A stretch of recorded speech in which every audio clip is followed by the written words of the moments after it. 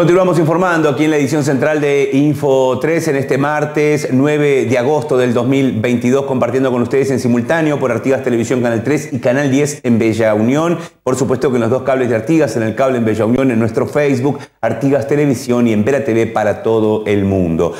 El ministro de Defensa en su visita la semana anterior hizo la invitación al jefe de policía de Artigas para coordinar diferentes actividades en conjunto con el regimiento de caballería. Fortalecer las instituciones, trabajar en conjunto fue tema primordial.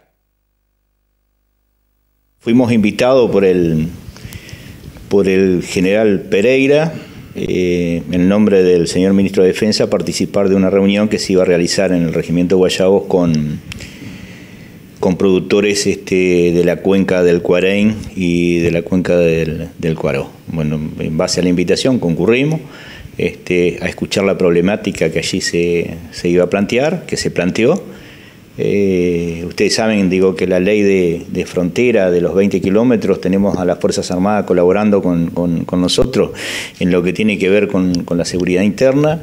Allí se plantearon situaciones eh, específicas que tienen que ver con la preocupación de los productores rurales. Este, eh, con relación a las actividades que se realizan en la prevención, la disuasión y la represión de, los delitos que se cometen en el ámbito rural. Y bueno, y en definitiva la reunión este, eh, eh, rondó en ese temario. ¿De qué manera de aquí en más van a coordinar para tratar de apaciguar esa situación de inseguridad en la parte rural? Mire, el, acá el tema es concreto. en el ámbito de la jefatura de policía, eh, nosotros hemos hecho todo el despliegue eh, posible en base a los recursos y en base a los medios que tenemos disponibles. Eso en, primer lugar.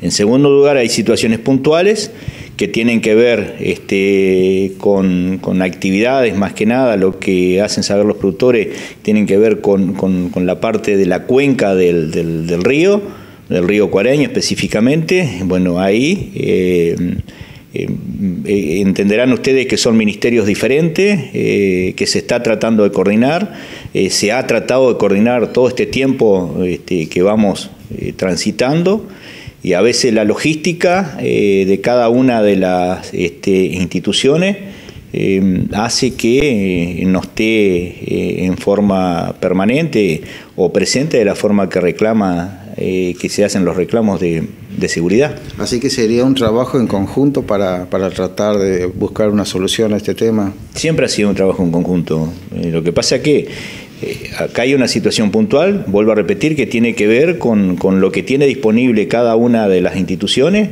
y despliega en el terreno.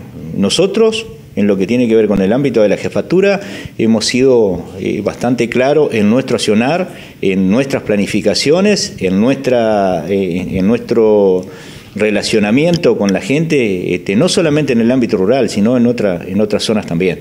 Eh, explicando y haciendo saber qué estamos en condiciones de hacer y qué no estamos en condiciones de hacer. Evidentemente que eh, esto se requiere eh, coordinación, se requiere usted, de repente una mayor, un mayor despliegue, si bien los números este, que se observan a través del observatorio nuestro y a través de la georreferenciación que hacemos por los delitos este, son positivos en lo que tiene que ver con, la baja de, los índices delictivos. Eh, hay una sensación, eh, decir, que preocupa a los productores que tiene que ver con este, esa situación puntual que se plantea cuando crece eh, el río Cuarain.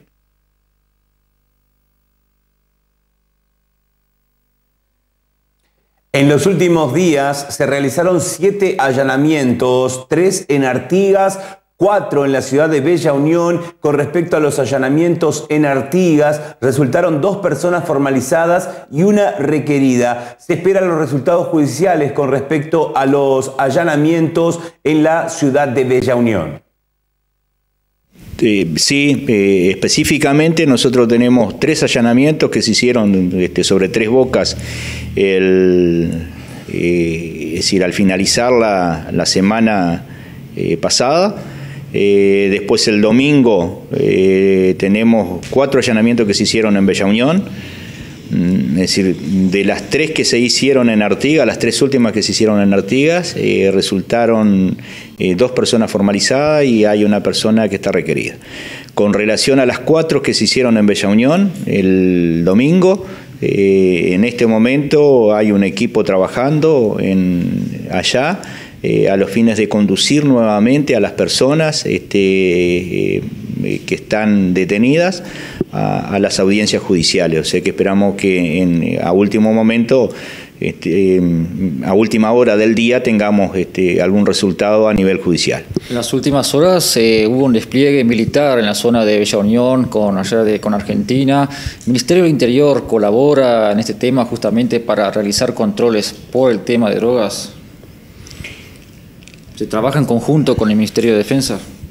Mire, nosotros eh, lo que realizamos eh, son las actividades de, coordinación en el marco de, la ley este, de los 20 kilómetros donde actúan las Fuerzas Armadas en apoyo al Ministerio del Interior y específicamente con el tema droga, em, no tenemos o no hemos tenido un intercambio de, información con, el Ministerio de Defensa.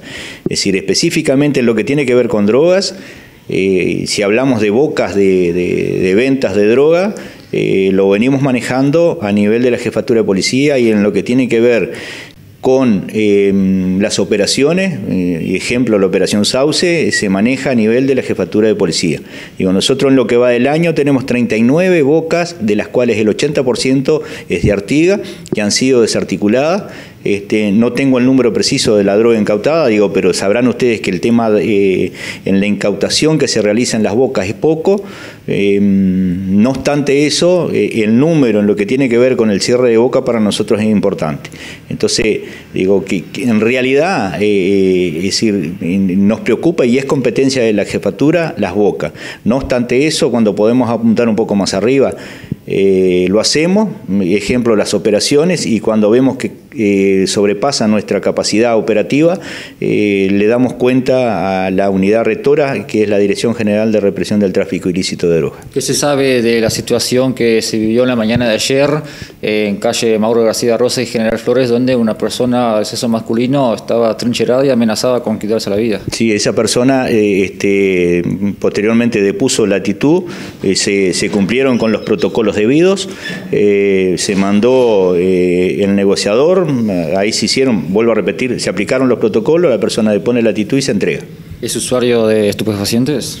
Bueno, no sabemos si es usuario de estupefacientes, yo concretamente no, no, no, no tengo esa información, si es o no.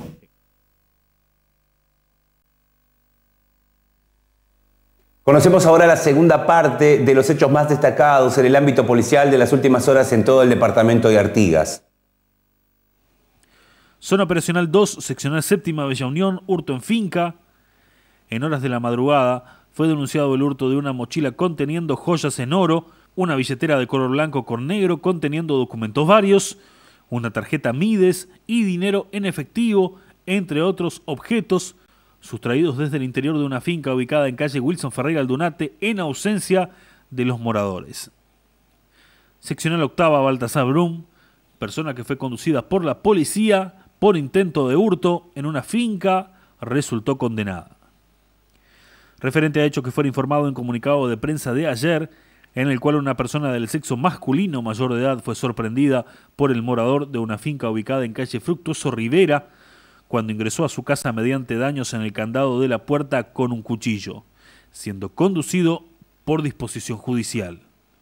Culminadas las audiencias en sede fiscal y judicial, el señor juez letrado actuante dispuso formalizar la investigación contra el imputado, la persona de iniciales LAPL, de 21 años de edad, por la presunta comisión, en calidad de autor, de dos delitos de hurto especialmente agravados, el segundo de ellos en grado de tentativa, ambos en régimen de reiteración real, como medida preventiva el arresto domiciliario en su propio domicilio, en el horario comprendido entre las 20 y las 7 de la mañana, medida que se cumplirá con vigilancia de la autoridad policial y durará 60 días. Zona operacional 3, seccional tercera, hurto en finca, desde una finca ubicada en calle Yaros, En ausencia de los moradores, hurtaron un televisor de 14 pulgadas, mediante daños en una ventana. Policía Científica realizó relevamiento correspondiente.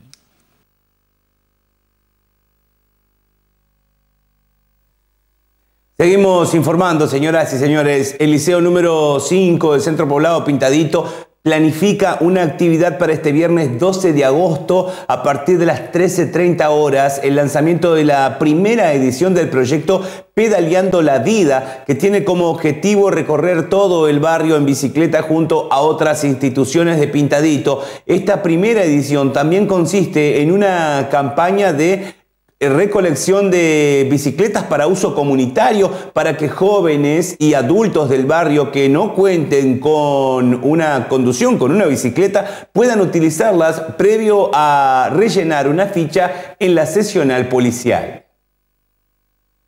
Como siempre, efectivamente, estamos eh, reunidos a nivel interinstitucional en estos momentos, eh, representantes del CAIF, em, de la escuela, eh, comisión de vecinos, eh, el amigo Tom, este, para ajustar detalles del lanzamiento del proyecto que se denomina Pedaleando la Vida, que se va a realizar el viernes a partir de las 13.30 aquí en la esplanada del liceo con un lanzamiento que comprende eh, dos partes eh, o tres, una parte que tiene que ver con este, orientaciones sobre la importancia del uso de la bicicleta, eh, las normas de tránsito, una segunda parte que va a ser un paseo ciclístico por todo el barrio en forma simbólica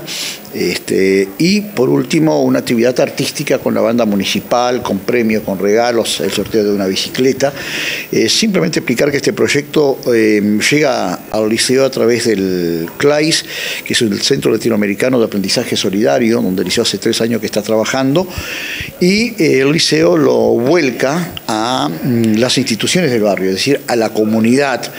Y tiene como finalidad, más allá de todo lo que ofrece eh, la bicicleta, el ejercicio físico, eh, solucionar eh, un problema de transporte de los vecinos y de la comunidad del centro poblado Pintadito, que muchas veces tienen que ir a pie a la ciudad, que muchas veces no tienen 66 pesos para el boleto de ida y vuelta del ómnibus, y consiste en establecer bicicletas este, que van a quedar aquí próximos allí a la, comisaría, donde eh, los vecinos la van a poder utilizar eh, previo a la realización de, una ficha. Este, consideramos que es muy importante para, la comunidad. Un estudiante se olvidó un material, acá hay estudiantes que vienen muy lejos también, va allí, llena la ficha, toma la bicicleta, la utiliza y es apenas el lanzamiento de un proyecto. Eh, creo que de aquí en adelante van a surgir muchísimas eh, actividades, ya tenemos la agenda para septiembre con talleres, para octubre con una caminata, este, un cierre del año.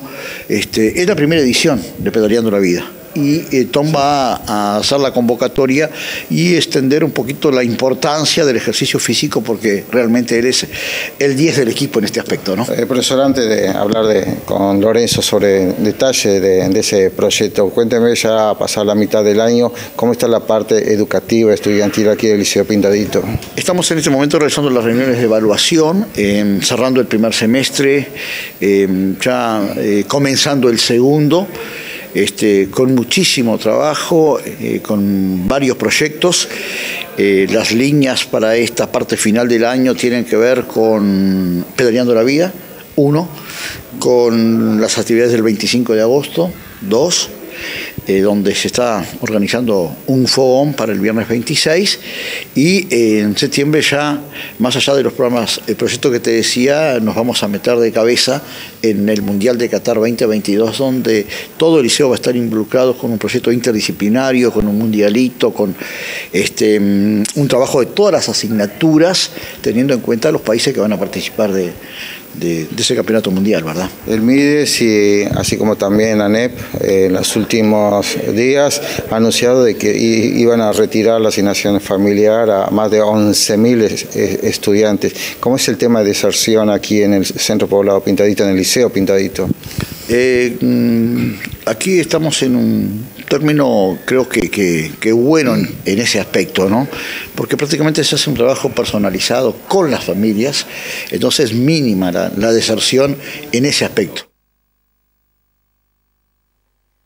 Continuando en este proyecto, Pedaleando la Vida, referentes deportivos en el deporte del pedal también estarán aportando su granito de arena en la realización de esta actividad del día viernes. Washington Lorenzo, referente del mountain bike en Artigas, expresó de qué manera estarán colaborando y tratando de incentivar a los jóvenes a que hagan deportes.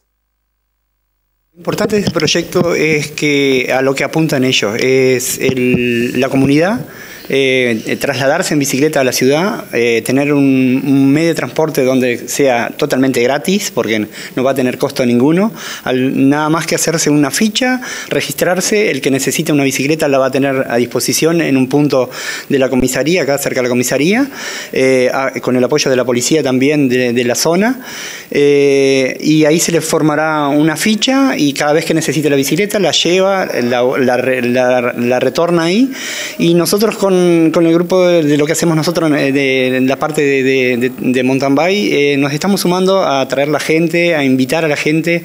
Eh, estamos pidiendo colaboración con bicicletas que estén en condiciones y usadas para regalar al, barrio. nuestro propósito hoy son 10 bicicletas, tenemos 5 ya tenemos cinco que cada uno pudo conseguir una bicicleta, bicicletas en, condiciones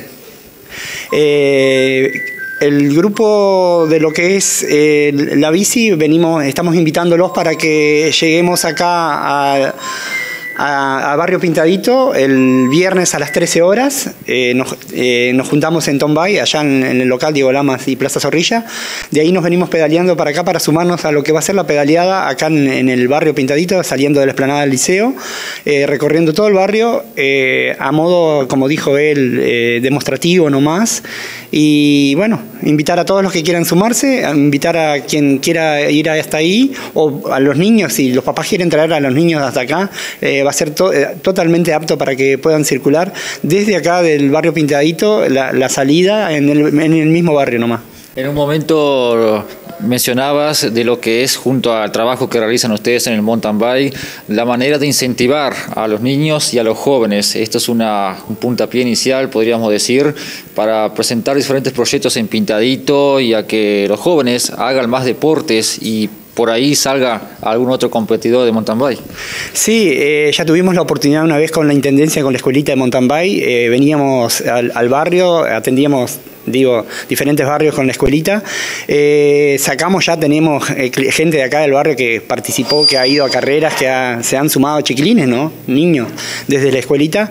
Y sí, obvio que es un puntapié, es un entusiasmo que los niños te puedan ver y, espejarse en, la gurizada que ya va a venir de casco de, con la bicicletita, equipados. Digo, eh, está muy bueno que, podamos hacer esto y mostrarle a la gente que hay niños, hay niñas también que se han sumado y, entusiasmar más gente para este deporte que es totalmente salud. ¿Qué balance hace de la actividad cumplida el pasado fin de semana? Este fin de semana estuvimos en Rivera, muy buena la carrera, un circuito muy duro. Eh, tuvimos más de 250 competidores de, todo lado. Brasil intenso, bajó mm, porque está ahí pegado.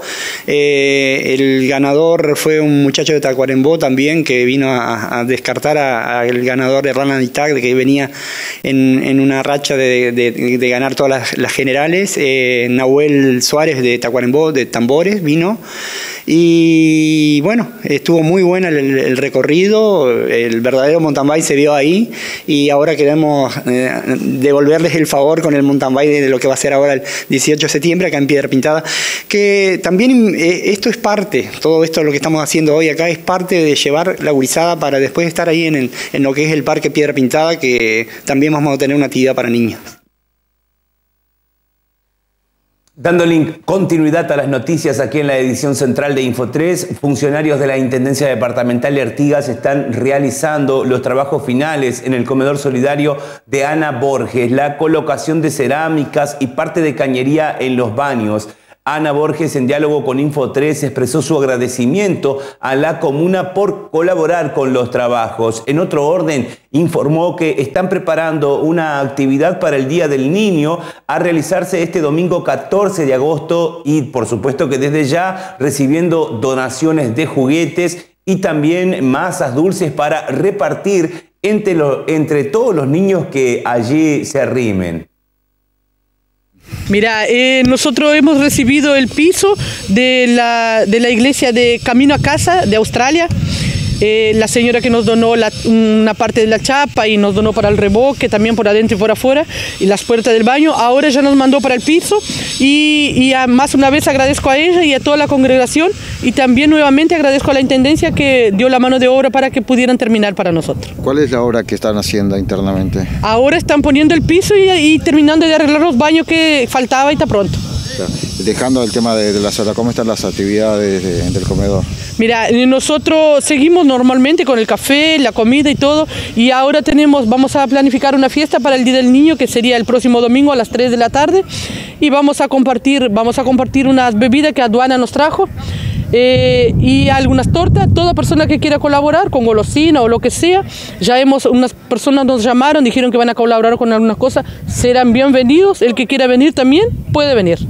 Así que están recibiendo donaciones. Sí, estamos recibiendo donaciones de lo que sea para, para repartir para los niños, lo que tengan, nosotros aceptamos. ¿Se va a repartir juguetes también como alguna oportunidad se hizo? Sí, sí, parece que sí porque está llegando bastante juguete, entonces vamos a organizar unas bolsas ahí y vamos a repartir lo que tengamos. ¿Cuántos niños eh, más o menos se maneja para esa actividad? Mira, eh, nosotros siempre tenemos anotado más o menos 80 niños, pero siempre aparecen más, ¿no? Siempre, siempre. Ahora ya tengo más o menos 60 y algo, pero es que faltan algunos de los que vienen al comedor a alistarse, pero siempre hacemos regalos para más. Ana, mencionabas que recibieron donaciones desde Australia. En un momento ustedes se ponen a pensar de lo que es el comedor de Ana, lo tan lejos que llega la parte de la solidaridad, ayudando a las personas, a los niños.